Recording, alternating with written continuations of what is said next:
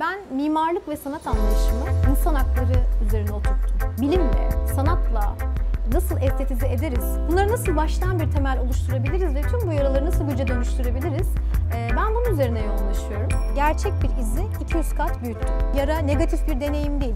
Bizim yolumuzda yara bizi geliştiren, büyüten bir deneyimdir. Burası İstanbul Göç İdaresi. İstanbul'un tam orta yerinde e, ciddi bir hafıza mekanı burası. Ve yeni dünyanın bir sembolü, bir mührü olarak burada böylece durur.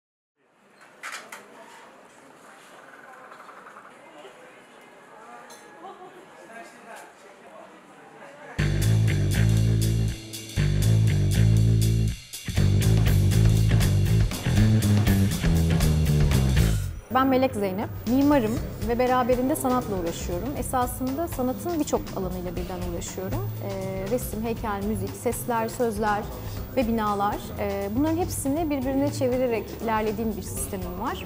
Ee, güzel sanatlar kökenliyim. Sonrasında mimarlık eğitimi aldım ve mimarlık yaptım. Ee, sonra çağdaş sanat e, ve bunların hepsini diktiğim bir kurguya doğru ilerledi konu.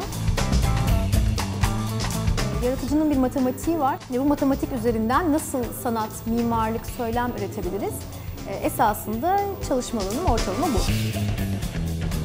Bütün gün kentte vakit geçiriyorum. Burada dokuları, binaları, insanları, malzemeyi analiz ederek ve bunlarla ilgili doneler oluşturarak bir üretim yapıyorum. Ee, bu anlamda burada bir açık laboratuvar sistemi kurduk ve bunun üzerinden sanat ve tasarım üretimine girdik diyebilirim. Sevgiler. Kendinize iyi bakın. Hoşçakalın. Ben zaten İstanbul'da, Tarihi Yarımada'da doğdum, büyüdüm. Ee, Beyoğlu. O yüzden buradan çok fazla kopamıyorum. Ee, bir de çok beslendiğim de bir yer benim. Ee, buranın esnafı, tinercisi dahi beni tanır. Ben de onları tanırım, severim. Elektronik müziğe son zamanlarda biraz girdim ama e, burada mesela bunun bir ritmi var, tamam mı? Arkadan tık tık tık tık bir metronom gibi ilerliyor. Zikir olur ya, bu mesela tık insanın ruhunu da dinlendiren, bir ritme sokan bir şeydir.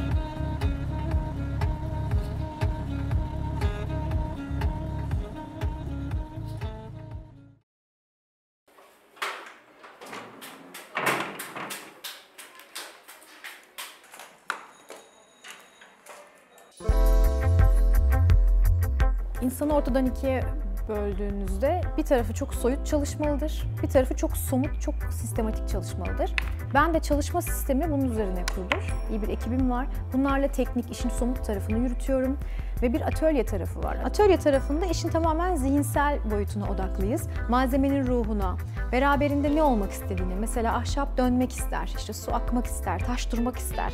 Ee, bu kimyaya uygun olarak nasıl yorumlayabiliriz burayı ve varlığı? Bunun üzerine çalışıyorum. Ben mimarlık ve sanat anlayışımı insan hakları üzerine oturttum. Son zamanlarda e, uğraştığım başlıklar uluslararası bir takım yayınların çocuklar üzerinden yürüttüğü politikalar. Beraberinde mülteci çocukların nasıl yetiştirileceği, nasıl e, güce dönüştürülebileceği üretmek anlamında ve elbette bizim coğrafyamızda e, bir takım terör örgütlerinin politize etmek için ailelerinden kopardığı çocukların e, hikayeleri ve e, tekrar nasıl toplumda kazandırılabileceği ve bu annelerin bu süreçte neler yaşadığı ile ilgili e, bir takım araştırmalarım devam ediyor. Tüm bunlar bizim coğrafyamızın belli başlı yaraları ve biz bunları e, bilimle, sanatla nasıl estetize ederiz, bunları nasıl baştan bir temel oluşturabiliriz ve tüm bu yaraları nasıl güce dönüştürebiliriz, e, ben bunun üzerine yoğunlaşıyorum. Serginin ve beraberinde bu enstalasyonun yerleştirmenin bir iyileşme olduğunu ve e, güçlü bir noktaya geldiğimizi göstermek için gerçek bir izi 200 kat büyüttüm. Bu bir çağdaş çilehane yorumu aynı zamanda. Çağın çilesi görünürlük. Siz burada bir şeyin içerisindeyken insanlar etrafınızdan gelip geçerler. Bunu her şeyde yaşıyoruz. 28 Şubat'ta da yaşadık. Birçok toplum travmasında da yaşıyoruz. Yara negatif bir deneyim değil. Bizim yolumuzda yara bizi geliştiren, büyüten bir deneyimdir. evet.